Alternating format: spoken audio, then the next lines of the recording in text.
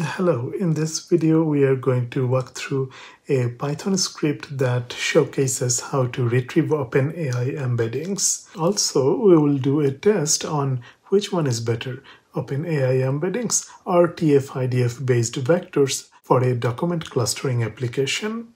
Let's get started we will be using OpenAI library. Make sure to set your OpenAI API key. You can get the API key from platform.openai.com. I wrote here two functions. One is get first n tokens and the other one is get chunks from text. These functions can be used to process the text content and make it suitable for OpenAI. The OpenAI model has certain token limits. In this function, get first tokens n is the token limit that we'll be providing from the caller function. For each token, there are generally four characters in English. So this function get first n tokens will return 4n characters from this given text. And I am doing a little bit of pre-processing of that text by removing continuous underscores or removing continuous spaces from the text. I ended up not using this function, but I am still keeping it here to make sure that others who will need it can use it. In this particular program, I mostly used this function, get chunks from text. This function creates chunks of text of size 4n characters in each chunk. So practically this chunk variable is a list where there will be chunks. Each chunk will have 4n characters. I made sure that no words are split between the chunks. The function will return the chunks as a list this function retrieve embedding, no chunking. This receives a text and it calls the OpenAI API and retrieves embedding from OpenAI for this given text. I am using this particular model, text embedding ADA second generation model for retrieving text embedding from OpenAI. I also ended up not using this particular method, but I'm still keeping it here so that others can use it.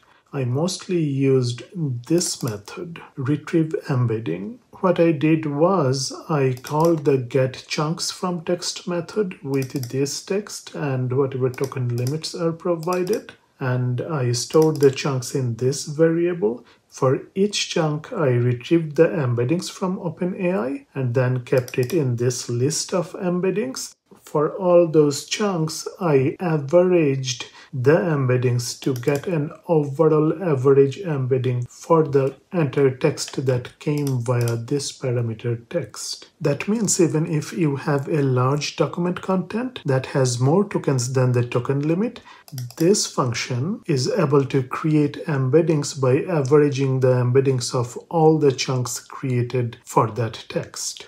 I run the retrieve embedding function with some sample text and then I check what is the length of the embedding for this given text. The length of the embedding is 1536. That means whenever we send the text using the given model, this one, it will return us an embedding array of length 1536. For the actual experiment, we used 20 newsgroups dataset, but I used only two categories these two categories are talk.politics.miscellaneous and rec.sports.baseball. In case you are not familiar with 20 newsgroups dataset, it is a standard classification or clustering dataset that has 20 categories of documents. For my test, I'm only using documents from the politics and the sports categories. Now the question is, why am I only using two categories instead of all 20. That is because I did not want to spend much money retrieving the embeddings using OpenAI's API calls. Each API call will cost some money, even if it is very small amount, it's some amount. For 1731 documents of these two categories of 20 news groups dataset, I spent only a few cents. I think it's 10 to 15 cents Note that I used the full documents. This is why it was 10 to 15 cents. If someone only uses the first chunk of each document, it will be much lesser. One suggestion is that when you use such a commercial API, please make sure that you set a usage limit like this one. If for any error in my code, even if my code keeps sending too many long documents to OpenAI, the loss will be no more than $10. I did set it here in the usage limit section that I don't want to pay more than $10 per month. Once the API calls reach the usage limit, the calls from my Python code will start to receive an exception. Also, whatever dataset you have, you just get the embeddings for once and save those embeddings in your computer. That is what we are going to do in our program today. There are functions in scikit-learn to fetch 20 news groups dataset. Again, we are only fetching two categories. We made sure that we have the text in a list and also we have the labels in another list. We removed any empty document or empty text from that list and we also removed the corresponding labels. Here I am printing some of the documents just to check if everything is working. In this part of the code, what I do is I create a list called data and in this list I keep ith document content, ith label, that means either sports or politics. Here in this context, politics is in index 0 and sports will be in index 1. So the labels will be 0 and 1. 0 for politics and 1 for sports. Then whatever embeddings are retrieved from OpenAI for the ith document, we keep it in this embedding variable and eventually we take it to the data variable along with the ith document and the ith level. And after this loop executes, practically this list called data has all the document contents, their labels, and the embeddings. And we processed 1731 documents. For each document, we have the embeddings. And in this part, we are saving that variable called data in a JSON file. So after this part, we will be able to read our data, whether it is the text, whether it is the label, or whether it is the embedding list for each document. We'll be reading them from the JSON file. So we don't have to make those API calls anymore.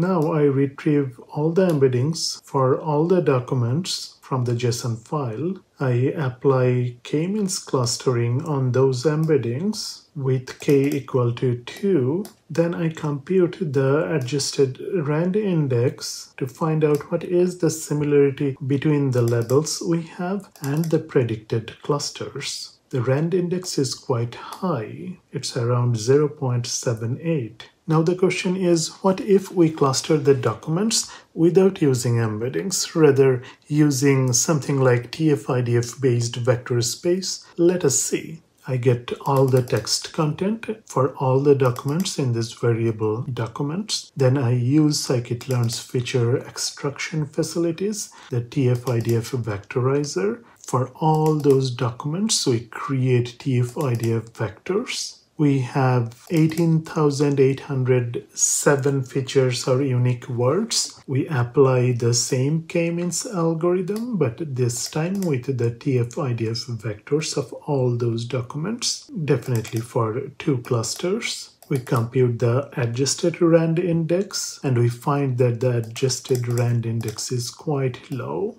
0.03. With multiple runs of k-means, I have seen it improve a bit around 0.05 but never close to 0.78 that we saw for the clustering using OpenAI's embeddings. In this experiment, OpenAI's embeddings win. It is still questionable that I did not remove the stop words nor did I stamp the words before applying TF-IDF vectorization. In an ideal experimental setting for TF-IDF, after stop word removal and stemming and then applying TF-IDF vectorization, probably one can reduce dimensions a bit using principal component analysis Anyway, that will not make TF-IDF based vectors contextual like embedding based vectors. In my experience, embedding based vector representations are much more superior compared to the conventional vector space modeling.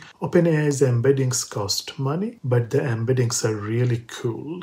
Depending on your projects, you can choose which sorts of vector space modeling you will be using. You can also check Hugging Face for any free model to generate embeddings. That is a topic of another time. See you soon in another video.